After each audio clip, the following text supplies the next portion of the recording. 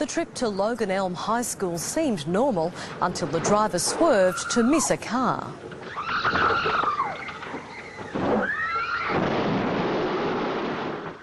The bus rolled on its side, landing in a soybean.